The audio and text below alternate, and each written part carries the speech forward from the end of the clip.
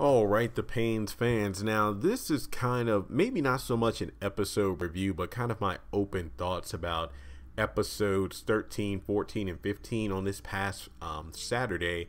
I realized that, oh man, I actually fell behind on the show. I'm actually several episodes behind. So I sat down and watched the episodes. But to be honest, I do recall telling myself that I wanted to watch the episodes regarding the bag of money. You know, I wanted to see how that was resolved. So I wanted to sit back and watch all those episodes at once because I thought it was going to be something more than two episodes. But, uh, you know, that some of my more recent Payne videos, I was actually praising the show because it was doing so well. Um, you know, um, what was it? Nyla confronting Travis, I believe his name was. Was it Travis? I think it was the name Travis for you know putting the uh, mouse in Lynn's room and um, seeing her and her get, kids get closer. The laugh track not being as overused in the episode. Everybody on screen having a purpose and not so many drawn out scenes because you know two people just making faces at each other or repeating the same lines but then we get to episode 13 and uh, i think it was called a painful dispute. And well i think we could sum up the episode what the first five minutes was literally ryan and joanne going back and forth about you know don't ask me to borrow no money. Don't ask me to lend your friends no money. And just stuff like that. And literally, all it would have taken was Ryan saying that, "Hey, we found um, Uncle and I, Robert. I mean, that's probably his name. I don't know. They call him like seven different names. Even I forget which one is uh, the right name. So the first five minutes could have been taken care of within ten seconds or less if Ryan would have came in there, saw his mom, and was like, "Hey, hey, the money they found it, laundromat. Ella took it. That's all it would have taken." Then for like the next seven to eight minutes, we have Ella running around her room trying to hide a receipt. I will admit it was hilarious that every time she would like open a drawer or move a pillow or something like that, she would find a little uh, snack stash by Curtis, which I find pretty interesting that he would hide stuff all over the room instead of just one place. But hey, that's pretty interesting. I mean, I did laugh at that the first couple times, but the fact that that scene, the thing about the Paynes that really gets me is that they have good jokes, but they just stretch them out too long. I mean, it's like beating a dead horse or uh, Batman, the killing joke, if you will. My mom has a tendency of doing this too. It's like, you know, she might say one funny phrase or whatever, but then she'll say it like five times within the same three sentences. like, Ma, no, come on, no, no, no, no, no. That's how I felt watching the scene with her in the receipt. Like, it was funny the first couple of hiding places, but then when you stretch it out for like almost 10 minutes long, it's like, okay, let's kind of move on to the next thing. Then Curtis comes in the room, then he leaves. He saw where she put the receipt, then she changes it up. Then we get Joanne coming into the house, and then they have their back and forth, and next thing you know, we're going to sue. Then we get to episode 14, and that's all about the whole situation. I know I said I wasn't going to review it, but I feel like Tyler Perry does at least two to three bullet points per episode, and it's like, okay, here's the A, B, and maybe the C plot of the episode, and we're going to make it last 22 minutes. Then we get to the next episode. I mean, again, the first six to seven minutes was Ella and Curtis trying to avoid the uh, subpoena from the guy at the front door. Then next up, we have Nyla and Joanne talking at the church. I actually did like this scene because Nyla was the audience. She literally said what I and a lot of other fans were thinking that Joanne, I get that you're upset, but number one, you sold them the house and laundromat. Look at the condition you sold it in. Then you're trying to sue for the money, which doesn't make sense because it was never stated in the will that that was your money. Plus, when he bought the laundromat, that means he bought everything that came with it. Because if some random person would have bought the laundromat and found the money, number one, you wouldn't have heard of the money to begin with. So, what would you do?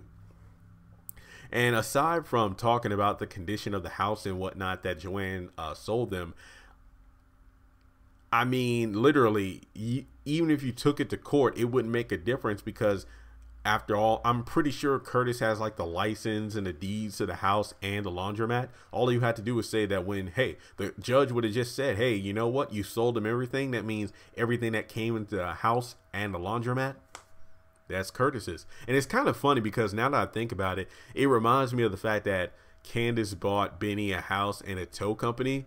And, you know, in this case, it was Curtis buying a house and a laundromat. Of course, the conditions of the house and laundromat were far worse than the one of the uh, house is and the tow company. But I, I feel like what later on in the episode, Nyla wants to mediate and um, Ella reads the Bible and then thinks that half the money should go to, you know, Joanne and then they keep half themselves. I mean, I get it. That was a happy resolution, but I don't agree with it personally. I mean, let's say if I was in Joanne's shoes, I would be upset myself, but then again, that's egg on my face for not thoroughly checking the laundromat over and whatnot. Um, because well, she kind of deserved what she got because all she did was scam Curtis and make a quick buck. And you know, it's funny how she said like, "Ella, you know that money we can use that for the center at church." And I'm like, "Well, remember when Ella wanted to get the money back from you in like what episode 2 or 3?" But Ryan already said that all the money that Curtis paid for the house of laundromat that went to the youth center at the church, hence why they got the computers and everything. So even though Joanne wanted to use the money for a good cause, it really wasn't good how she obtained money from Curtis in the first place. And also look at the fact that here's what I would have thought might have been a good resolution, but I feel like maybe they didn't even have to, but if they wanted to share, I feel like after paying um, Terrence for renovating the laundromat because Ella did make a good point. It's like, look, we're going to fix up the laundromat, then give jobs to the young people so they can make money that way. And I'm thinking that's a good idea. So my thing is, what they said it'll be between twenty to forty thousand dollars to fix up the laundromat. And um, I'm thinking, okay, let's say what it's fifty three thousand dollars. Let's just assume, you know, let's just say, let's spitball here that it costs forty thousand dollars even. That'll mean thirteen thousand left. That would be about six thousand five hundred dollars a piece. Okay, that sounds fair. But here's I would have taken a step further. It's like, look, here's fifty three thousand dollars. We're going to deduct what we need to fix the laundromat because we need to fix the laundromat in order to make an income to begin with.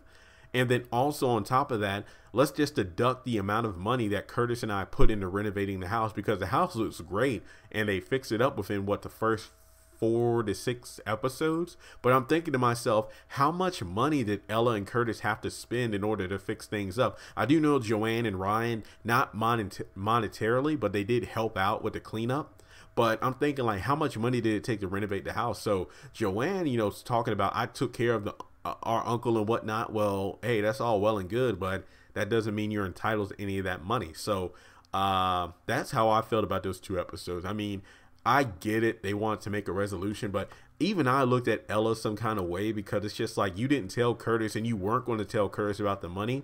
I do wholeheartedly agree that she made a good call in terms of a prediction, a prediction saying that Curtis was not going to use the money wisely. He would just blow it. He wanted to get a boat, but he should have been more focused on fixing the laundromat.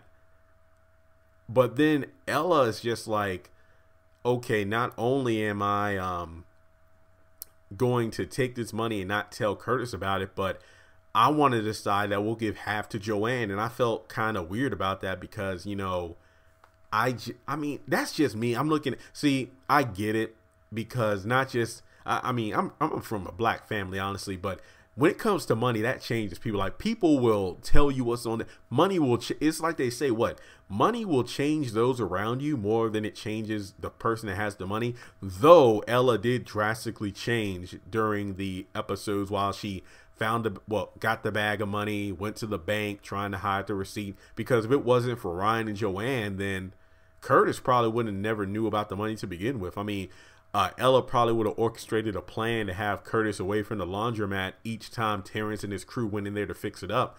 But that would have raised the question of what if Curtis went to the laundromat and everything was fixed up? He would wonder what happened, but maybe that might have changed his tune about being angry when he saw how nice the place looked and how much money it brought in. So that's how I feel about it.